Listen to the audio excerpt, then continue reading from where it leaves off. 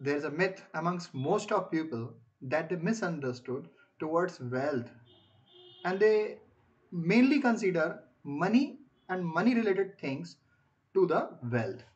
When uh, someone is asked he is wealthy or not it is measured only in terms of money he is having or not.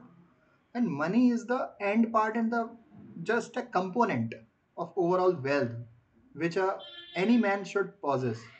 How am i talking to you this i am talking to you this on the basis of long hours of reading books on the basis of long hours of learning from different mentors all over the globe so here i welcome you all in our different type of wealth series from today onwards where we will try to develop a money mindset, wealth mindset, and uh, knowledge about actual what wealth is. Here's the part one. Have a look. Knowledge. This is the very first type of wealth which anyone should be concerned about. How? Actually, you think knowledge is power, knowledge is everything, knowledge has your competency, knowledge is what knowledge is expertise knowledge is knowledge just come after lots of struggle you have done. Knowledge just come after lots of hard long hours of study you have done. Knowledge after come just uh, over a period of time doing different thing on consistent basis. Then you come up with some idea that you are experienced at and you call yourself that you are someone who is expert about it. Because you feel you have knowledge about it. Knowledge is not just acquired through a current education system, which is divided.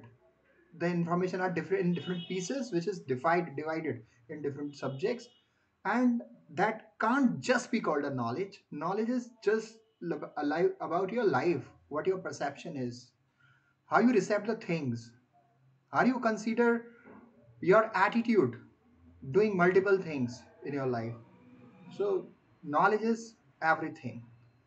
Even if you lost your money and materialistic thing, but you have knowledge with you, skill set with you, confidence with you, and you have the mindset with you to do that again. You can build that particular money and wealth again over the period of time. There are numerous examples histories are accumulated with those examples there are so many cases case studies just take a example of donald trump. There was a time he was a multi-millionaire who does not know him. He has been ex-president of america.